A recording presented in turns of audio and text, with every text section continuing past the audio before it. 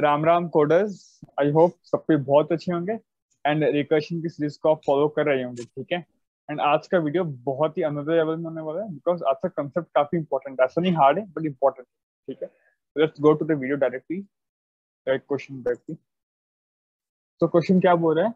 कि आपको एक नंबर दिया हुआ रहेगा you to find the power of that number raise to its inverse मतलब क्या होता है? बेसिक जैसे आपको 24 दिया हुआ है ठीक है? तो आपको रिटर्न करना है 24 के पावर 42 जैसे आपको टू दिया हुआ है। टू का रिवर्स क्या होता है? टू ही होता है। तो टू स्क्वायर यानी कि फोर दैट्स इट तो मतलब बेसिकली आपको ए का पावर एन पूछा है। एन तो आपको बस, आपको ए दिया हुआ रहेगा। एन क्या है? ए का रिवर्स जो कि आप निकाल सकते हो, बस सिंपल कोडिंग फिर आपको ए का पावर एन निकालना है। That's the question right and इस केस में, जैसे शुभ, आप देख पा रहे twenty four to power forty two काफ़ी बड़ा नंबर हो जाएगा राइट बहुत बड़ा नंबर तो इससे मॉड्यूलस करने आपको बोल दिया है। तो guys I highly recommend you एक बार वीडियो को पॉज कीजिए कोई बड़ा कंसेप्ट नहीं एकदम सिंपल सा है। एक अपर एन कैसे निकालने with the help of recursion सोचिए then come back to the video okay Shiv बताइए। फ्रॉम पीएमआई कैसे करोगे करण जैसे कि पीएमआई में हम बेसिक अप्रोच होता है कि हम मान के चलते कि एन माइनस वन तक हमारे पास रिज़ल्ट है और उस रिज़ल्ट को यूज़ करके हमको एनथ वाला डिराइव करना है। हम्म। तो जैसे कि n माइनस वन तक का पावर हमारे पास है तो उसमें हम क्या मल्टीप्लाई करेंगे कि n का पावर मिल जाए? तो that will be equal to eight a only a को ही मल्टीप्लाई करेंगे। So this is the basic formula right Shiv आप बोल रहे हो? तो हम लोग पीएम हमको बोलता है कि ये तो आपके पास है मान के चलो खत्म कहानी। तो बस आपको इनटू ए करना है। ये आपको मैं हमेशा बोलता हूँ कि आपको work on the last part जितना भी अपने क्वेश्चन किया वैसे ही किया। लास्ट पार्ट में आपको इस पे काम करना है। और इसका फॉर्मुला ये होता है और ये पार्ट तो छोटा पार्ट है जो किया हुआ रहेगा देन वी आर डन या तो शिव इसमें बेस कंडीशन क्या बोल सकते हो आप? If N equal to one तो इन दैट केस और तो मतलब ज़ीरो करने की कोई ज़रूरत नहीं उसमें तो वन ही रिटर्न करना रहता है। हाँ। अगर अगर अगर ज़ीरो भी हो गया कोई बच्चा इसको भी लिखे तो गलत नहीं है। रिटर्न वन कुछ भी वॉट एवर जो आपको इच्छा रहा है आप लिख सकते हो। It's on you I told you base case जो वो होता है जो अपने खुद से कर सकते हैं। क्योंकि twenty four to power forty two हम लोग खुद से नहीं कर सकते शिव। और twenty four to power zero हम लोग खुद से कर सकते हैं right this is the base case ये बेस केस हो गया वॉट एवर यू आप लिख सकते हो। तो ये हम एज्यूम कर देते हैं पीएमआई में then we are the code it's as simple as that बस दैट्स इट अब वीडियो में खत्म नहीं करूँगा यहाँ पे। देखो इसका शुभ अगर मैं कम्प्लेक्सिटी का एनालाइज करूँ हालाँकि ज़रूरत तो क्या होगा? एन माइनस वन फिर एन माइनस वन कॉल करेगा एन माइनस टू को। एन माइनस टू करेगा को तो ऐसे चलते रहेंगे हम लोग जब तक हम लोग कहाँ तक पहुँच जाते हैं वन तक राइट वन तक पहुँचेंगे फिर रिटर्न कर करके आएँगे राइट तो एन से हम लोग एक एक कम कम ट्रेवल करें वन तक तो ऑफ़ एन हालाँकि रिकर्शन के कोई भी क्वेश्चन में मैंने टाइम का बात नहीं किया बिकॉज़ अभी ज़रूरत नहीं लगा मुझे। एक लेवल आगे हम लोग सीखना है उसके बाद टाइम का बात करना है। इस क्वेश्चन में मैं क्या करना because now I am gonna teach binary explanation जिसके टाइम समझना पड़ेगा क्यों मैं कर रहा हूँ। तो इसमें आपको एन लग रहा है। अगर आप एनालाइज कर पा रहे हो तो क्यों? क्योंकि आप इसको ये कॉल करेगा फिर कॉल करेगा। ये आप समझ पा रहे हो ड्रॉ द इक्वेशन चार्ट आप समझ जाओगे मैं क्या बोल रहा हूँ। तो ऑफ़ एन बार कॉल होगा तो of N is time but question का रिक्वायरमेंट देखो गाइस क्या है। रिक्वायरमेंट हम्म, है आपका देखो लॉग इन तो इसको कमाना पड़ेगा ठीक है? अब सिर्फ़ एक छोटा सा आपसे कंसेप्ट पूछ रहा हूँ मैं। क्या मैं लिख सकता हूँ? कि सपोज़ मान लो एट का पावर ट्वेंटी फोर को एट का पावर ट्वेल्व इंटू एट का पावर ट्वेल्व क्या लिख सकता हूँ ऐसे यस करेक्ट अभी आप क्या बोलते आप बोलते ऐसे लिख सकते हैं। ये तो परफेक्ट राइट है आई एक्सेप्ट वैसे कम्प्लेक्सिटी ज़्यादा हो रहा था तो ऐसे भी लिख सकता हूँ। क्या सिर्फ़ एट का पावर ट्वेंटी फाइव को मैं ऐसे लिख सकता हूँ? एट इंटू एट का पावर ट्वेल्व इंटू एट का पावर ट्वेल्व इससे फ़ायदा क्या हुआ? तो मैं क्या बोल रहा हूँ कि ए का पावर एन को लिखो। ए का power N by two into A का power N by two where N by two where N is even अगर एन अगर और है तो लिखो एन टू ए टू पर N by two into A का पावर एन बाय टू इससे फ़ायदा क्या हो शिव देखो, फ़ायदा क्या हो रहा है? एग्ज़ाम्पल आपका एन है, ठीक है? तो आप पहले देख सकते एन बाय टू का। देखो, ये पहली बार तो रिकर्शन से काम करेगा, क्यों करेगा? बिकॉज़ ये भी छोटा ही प्रॉब्लम हम लोग मान के चले कि इतना पार्ट हुआ हुआ है। हम लोग तो मान के चलते हैं पीएमआई हम लोग पी एम आई में मानिए, भाई, इतना पार्ट तो मेरे को आंसर आता है। तो अगर आपको इतना पार्ट का आंसर आता है तो अगर आप इसमें वही आंसर मल्टीप्लाई कर दोगे then you get A That's the form, right? A upon n. If you know a to the power n by two and you multiply it by a to the power n by two, then you get a right. ये तो है ना?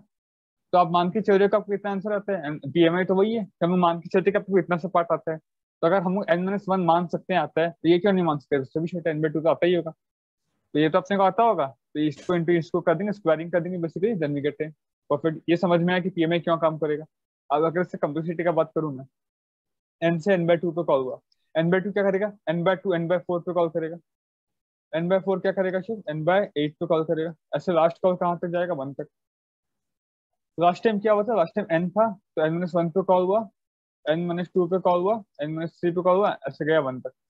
अब इसमें अगर शिव मैं मान लिया कि के स्टेप चला इसमें अगर मैं के स्टेप चला मुझे के निकालने हैं।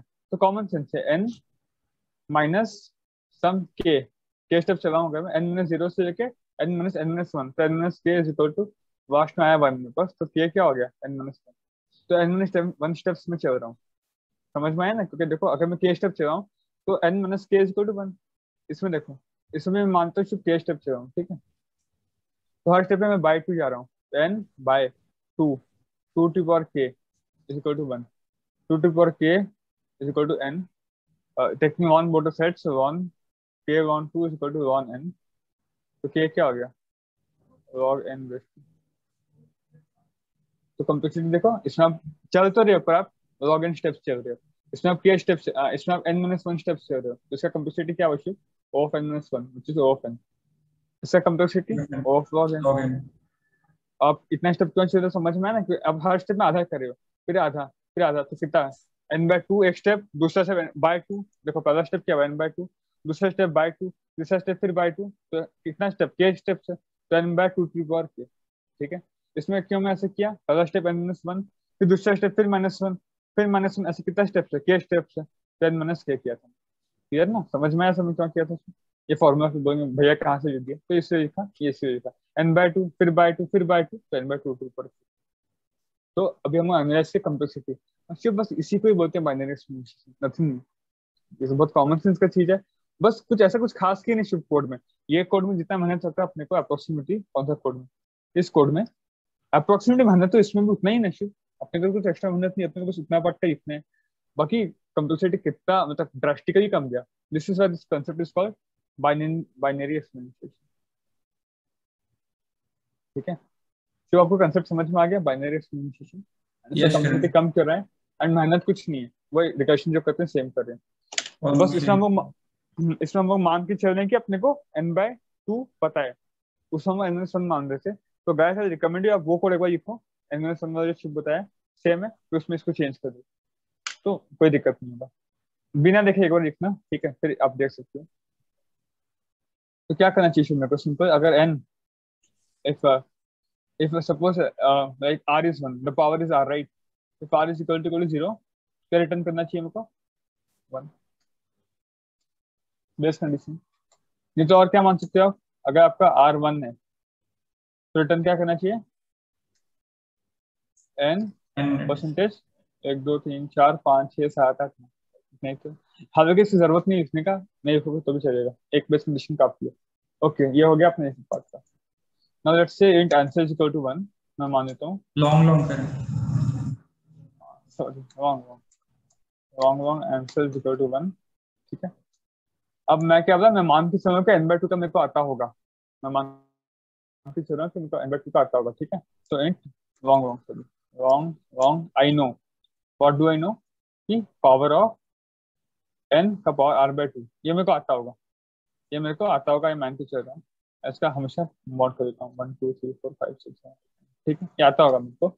मेरे को अब क्या करना चाहिए? अगर मेरा ऑड ऑड है if R is odd if R is odd अगर आर ऑड है तो आंसर में क्या मल्टीप्लाई करूँगा शुरू में answer equal to N N into N right one two three four five six seven eight nine ठीक है? अगर इवन है तो कुछ मल्टीप्लाई नहीं करना। ऑलरेडी वन से रहने दो। एंड एट एंड क्या रिटर्न करना है मेरे को? रिटर्न क्या करना है? आपकी फॉर्मूला वही था। आप पहले का जानते हो तो उसको स्क्वायर करना है नो को एंड इसको मल्टीप्लाई करना है। तो answer into no no percentage one two three four five six seven eight nine ध्यान रखना और एक बार करना पड़ेगा बिकॉज़ ये दो की हम लोग किए अब इसको जब आंसर से मल्टीप्लाई करेंगे तो और एक बार मॉड्यूल करना पड़ेगा। Percentage one one two three four five six seven eight nine तो दो बार मॉड्यूल क्यों किया समझ में आया आपको? हम्म। पहला तो हम इन दोनों को मल्टीप्लाई किए तो इसका एक्सीड हो जाएगा तो इसका इससे मॉड्यूल हो रहा तो इसका जो आंसर है इसको आप आंसर से मल्टीप्लाई कर रहे हो तो इसके लिए मॉड्यूल हो गया। और आंसर क्या है मैं आपको फॉर्मूला ये तो लिखवाया था ना power of N by two into N by two तो अगर आपका इवन है तो आंसर तो वन ही है ना? आंसर वन है। तो कोई दिक्कत ही नहीं है वन मल्टीप्लाई करे तो। अगर आपका ऑड है तो आपको बोला था कि मैं एक बार एन मल्टीप्लाई फिर से कर देंगे। तो उसके हम, अगर ऑड है तो मैं मेंशन कर दिया आंसर इनटू एन तो आंसर एन हो गया तो फिर आपका अकॉर्डिंगली रिटर्न हो रहा है। क्लियर है ना शो तो अगर this is the base case right base case this is the assumption. And this is the solving. That's it. And this is what we call binary experimentation जो कि log n में चलता है बहुत स्पीड एंड शुभ इवन हमारे जो power function लिखा रहता है ना कि हम लोग बहुत बार में बच्चों को यूज़ करते हैं पावर पी और डब्ल्यू लाइक एक्स का power N power of X का पावर एन लिखते हैं. तो that works in binary experimentation but इसका दिक्कत क्या ना शुभ ये मॉड नहीं करके देगा आपको. हम्म, आपको जब। अगर हाई हो जाएगा तो आंसर गलत आ जाता है. तो बच्चों को आई रिकमेंड कि खुद से लिखो. इसको बना के लिख के रखो अपना टेम्पलेट में वॉट ठीक है? एक बार हम लोग करें उस पर बात करना चाहिए। सी प्लस प्लस टेम्पलेट्स और ये भी सही है। कॉम्पिटेटिव प्रोग्रामिंग सीपी करेंगे कभी। मेरा भी इच्छा है सीपी बहुत बार करने का बट नहीं हो पा रहा। अभी तो सुना क्या दिक्कत हो गया? अच्छा मे भी ऐसा हो सकता है कि इसमें शायद देखो दो ब्रैकेट देना चाहिए मेरे को।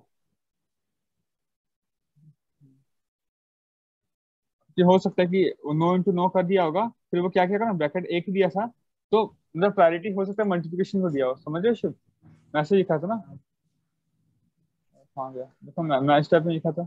A into R into R percentage M ठीक है? तो आर इंटू आर तो हो गया। अब हो सकता है पहले प्रायोरिटी मल्टीप्लिकेशन करके मल्टीप्लाई कर दिया होगा। हाँ तो प्रायोरिटी ऑपरेटर में भूल चुका हूँ सॉरी तो हो सकता है प्रायोरिटी उसका दे दिया होगा। तो अभी ठीक हो गया होगा। अगर अगर वो गलती हुआ होगा नाउ इट्स रेक्टिफाइड दो ब्रैकेट दे दिया हूँ। तो अभी इसको करके, पर इसको ही करेगा, फिर इसको करेगा। ठीक है देखते हैं, अगर ये गलती हुआ, और तो कोई गलती नहीं वगैरह का तो sorry for the time waste तो यही गलती है, अगर रहना होगा। ओके। वही गलती था। तो या, छोटा सा मिस्टेक तो रेक्टिफाई हो गया। तो ये ध्यान रखना कि अब मुझे एक चीज़ पता चल गया कि मल्टीप्लिकेशन का प्रायोरिटी मॉड्यूलर से ज़्यादा होता है। तो इससे वो पहले मल्टीप्लाई कर दे रहा था एक्चुअली है ना शिव? पहले इसको उनको मल्टीप्लाई कर दे रहा था फिर मॉड दे रहा था इससे नेगेटिव आंसर आ रहा था। तो अभी वो ठीक से कर रहा है अभी वो आगे मल्टीप्लाई हो रहा है फिर मॉड हो रहा है फिर मल्टीप्लाई हो रहा है फिर मॉड हो रहा है। नाउ इट्स पॉइंट फिर ध्यान से इतना रखता है गाइस थोड़ा मॉड्यूलेशन कंफ्यूजन होता है वो प्रैक्टिस के साथ बिल्डअप हो जाए ठीक है? So this was all about today I think ये कोड आपको समझ में आ गया होगा पूरे तरीके से। And here we had proper use of recursion है ना शिव? रिकर्शन का बहुत अच्छे से यूज़ किया। या that's all about today stay tuned मिलते हैं अगले वीडियो में. ध्यान रखिए. फॉलो करना सोशल मीडिया हैंडल्स जय हिंद.